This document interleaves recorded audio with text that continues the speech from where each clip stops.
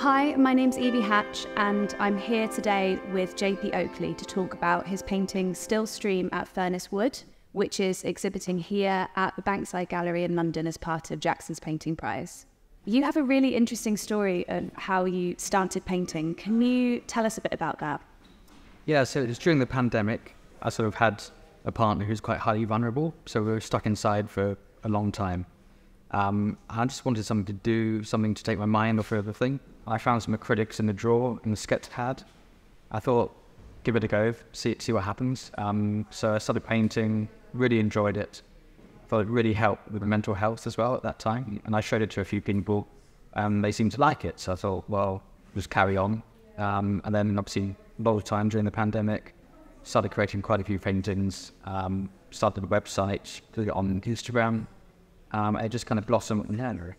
I think that's a really interesting point about the the mental health aspect of it. You know, painting as a way of filling time and, and practice and putting hard work into something. And during a really difficult time that a lot of us had, you must have found that, you know, a, a real kind of solace. Did you did you find it that it was something that you kind of did instinctually, like you kind of picked it up, or did you feel like you practiced a lot? Did they come naturally to you? Do you think painting? Yeah, I think it came naturally. Actually, it was um, thinking back. I just sort of picked up a pencil, started drawing, and then thought obviously start painting. Um, and yeah, it came quite naturally to me. And at the time, I think I wanted that escape. So being stuck inside, not being able to go out, and I think it was a time when we couldn't, we could probably go for a walk once a day.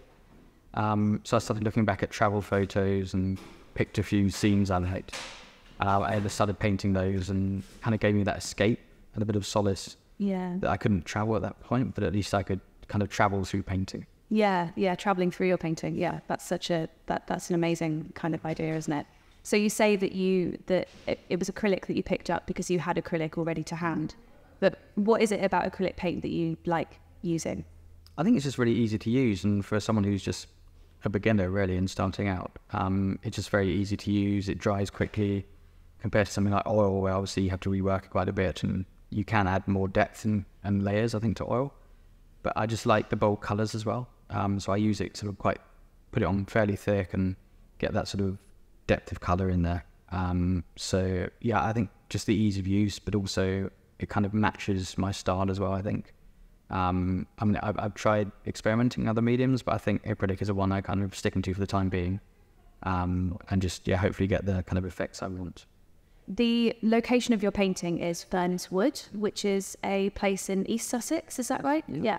Why is it that you were drawn to this subject? I know you painted it more than once now.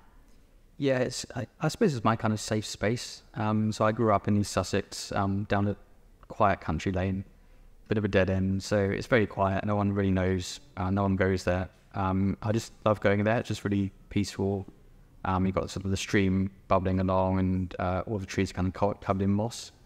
Um, so that kind of influenced the colours I used as well. And I just like spending time there, whether I'm painting or just actually taking a bit of time out, um, going for a walk. It's just uh, just a nice sort of peaceful spot. Yeah, it's interesting you say about the colour. I think because there's a kind of ethereal, kind of otherworldly quality to the painting, isn't there? It's almost a painting of two landscapes because you have the real landscape and then you have the reflected landscape. Yeah. and the colors really kind of play into that. How did you how did you choose the color like that distinctive color palette for that painting? Yeah so i wanted to get something quite magical across about it because i kind of get that feeling when i'm there. As i said to kind of moss colored trees. I wanted to kind of ramp that up and really represent that. So sort of quite bright greens with the mix of the darker greens but also kind of the pinks coming in there and it used to be a place where there's a blast furnace, so there's a lot of um, kind of iron ore and things in the soil. So that already has a, a slightly rusty red kind of color.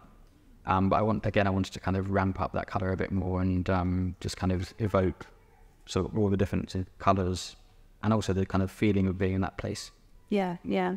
Which artists do you think have have inspired your work the most? Do you think? I think Hockney, um, definitely. I think he's fantastic. I think um, probably the use of color, the bold colors, kind of comes across maybe in my work a bit. Um, but I like Eric Ravilious. Um, he sort of painted a lot of East Sussex as well. So yeah. Um, so I love his work. John Nash as well. It's really good. Um, and Peter Doig, I think it's really good. I went to an exhibition recently, um, and I love his work as well. So I, I suppose I'm influenced by different styles as well, which which kind of helps me to develop. When you were painting this painting, did you work in the studio primarily, um, or did you make sketches on site? How how did it kind of how how did it come about? So I'm I'm one of these people who takes a lot of photographs. So um, I had a lot of photographs of the wood from before, but also when I was putting painting together, I thought, well, I'll take another visit down there, um, just to kind of refine the details I wanted to take. So I don't tend to do many sketches. I tend to just go for it. Um, so for whether that's good or bad, um, but it seems to work for me. Um, and then I don't really have a studio. I've got I started on the kitchen table during the pandemic. Uh, I've since been given an easel, so I put that in the kitchen as well. Um, so yeah, very much kind of uh, working from the home. Um, I tried a bit of plein air painting as well, so I think it's something I want to develop more of. Um, but that that particular painting I painted in my kitchen. So it seems that when you started painting, you know, you you really really went for it. What advice do you have for people who are looking to start a, a journey with painting? Just focus on something you really like. Um, give it a go. I mean, don't be afraid of failing. You, you never fail. You're just always learning. So um, I'd also say getting your name out there. So try and get a website and post on social media, and then entering prizes like this. I think this is so accessible. Um, I think it's so easy to enter. Basically, just send a photo in, um, then you, you find out whether you're selected or not. And I was very lucky to be selected among all the other amazing works here. I think just just put your name out there. There's no harm in trying, is there? And um, see where it takes you. And what what's your impression of the show here at Bankside? I think it's brilliant. I think it's such a mixed um, a mix of styles, a mix of materials as well, and I think it, it just kind of shows that vast array of um, different things that people can paint and different subjects as well. So got everything from sort of a, a lace um, dress that's just incredible. I can't believe the detail in that. Um, to something maybe a little bit more naive like my, my own work. But I think it's, it's got a real mix, and obviously it's free as well. So I think it's really accessible to people. Um, and the location in Bankside is great. It's by the river near Tate Modern as well. So um, I think it's a, a really good, accessible exhibition to come and see.